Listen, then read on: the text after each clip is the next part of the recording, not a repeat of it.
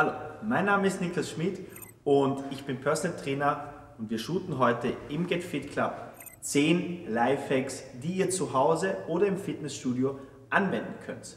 Diese Lifehacks sind dazu da, um das Training effizienter und produktiver zu gestalten und damit ihr euch nicht ablenken lasst im Fitnessstudio.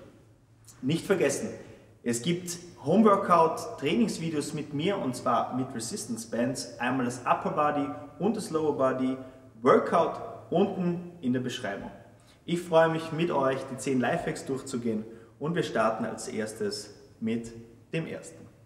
Bevor ich mit dem ersten Lifehack starte, bitte auf jeden Fall gefällt mir drücken und die Glocke unten aktivieren, damit ihr keine YouTube-Videos mehr von uns verpasst. Erster Lifehack, motivierende Musik. Beim Training ist Musik sehr wichtig. Es kann die Leistung steigern, es kann das Ablenken durch andere Personen verhindern. Kopfhörer ins Ohr, gute Musik rein, egal welches Genre, von Hip-Hop bis Hard Rock bis zu äh, EDM. Jedes Genre ist auf jeden Fall gut beim Training und besser als keine Musik. Leistungssteigernd und nicht durch andere Menschen ablenken lassen mit Musik in den Ohren. Lifehack Nummer 2. Wenn ihr beim Training Musik hört, dann wahrscheinlich vom Handy. Und was ist die Gefahr dabei?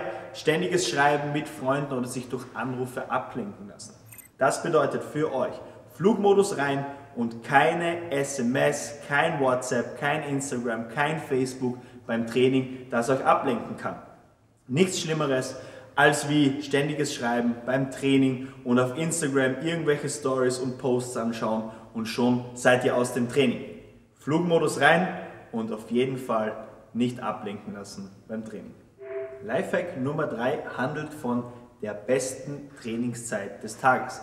Das ist zwischen 11 und 15 Uhr. Wieso? Wenn du in der Früh zum Training gehst und noch nicht ganz wach bist, dauert es wahrscheinlich etwas, um richtig gut ins Training starten zu können. Wenn du spät trainierst, wird die letzte Mahlzeit auch sehr spät stattfinden und dein Körper braucht eine gewisse Zeit, um runterzufahren, was deinen Schlaf schlecht beeinflussen kann. Wenn es deinen Job erlaubt, wenn es dein Umfeld erlaubt, dann trainiere zwischen 11 und 15 Uhr, denn dort ist die effizienteste und die produktivste Zeit, um zu trainieren. Und was noch ganz cool ist, zwischen 11 und 15 Uhr sind wahrscheinlich die wenigsten Leute in deinem Gym. Lifehack Nummer 4. Wenn du die Möglichkeit hast, trainiere mit deinem Gymball. Wieso? Ihr könnt euch motivieren, ihr könnt besser an die Grenzen gehen und ihr könnt beim Training nochmal mehr Gas geben. Achtung, Gefahr, zu viel quatschen. Heißt, aufs Training konzentrieren und nicht zu viel reden, wenn du mit deinem Gymbuddy ins Gym gehst. Lifehack Nummer 5 ist die Proteinzufuhr nach dem Training. Beim Training setzt du den Reiz und nach dem Training ist dein anaboles Fenster bzw. deine Proteinsynthese sehr hoch. Bedeutet, das anabole Fenster, in dem du dich befindest und in dem du wirklich effizient Muskeln aufbauen kannst, dauert nach dem Training circa zwei bis drei Stunden. Deswegen empfehle ich dir, nach dem Training Minimum 0,5 Gramm pro Kilogramm Körpergewicht zu konsumieren. Ich würde mal so als Richtwert 25 bis 30 bis 40 Gramm Protein empfehlen um wirklich effizient Muskeln aufbauen zu können nach dem Training und vor allem auch den Muskelabbau zu verhindern. Ist ein Protein nach dem Training, um wirklich den Muskelwachstum nicht ausfallen zu lassen.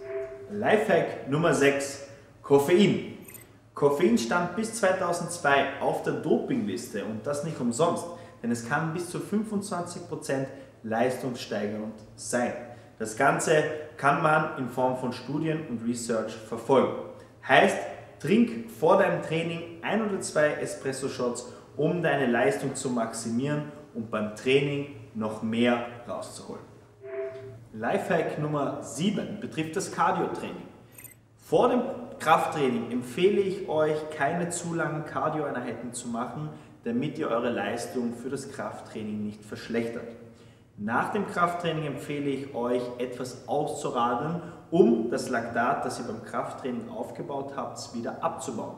Ihr könnt auch mit dem Cardio nach dem Training zusätzlich Kalorien verbrennen und, ganz wichtig, eine aktive Regeneration zum Krafttraining starten.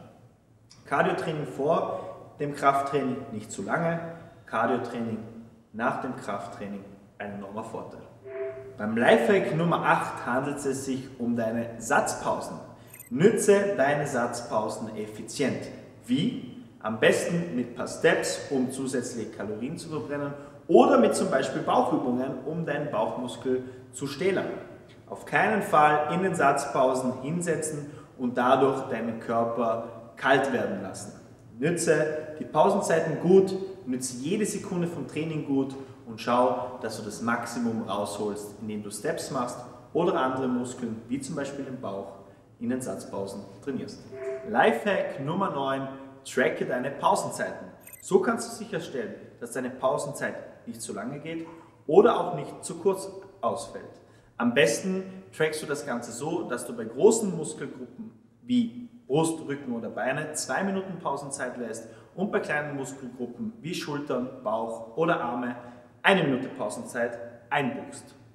Am besten trackst du das mit der Gymuhr, die irgendwo an der Wand hängt, oder mit deinem Handy.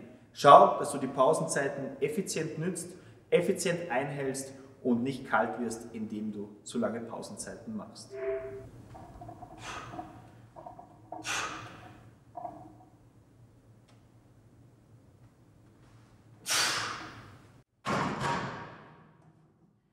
Und der mit Abstand beste Lifehack, den ich euch mitgeben kann, ist die Nummer 10 und zwar die, richtig hart zu trainieren.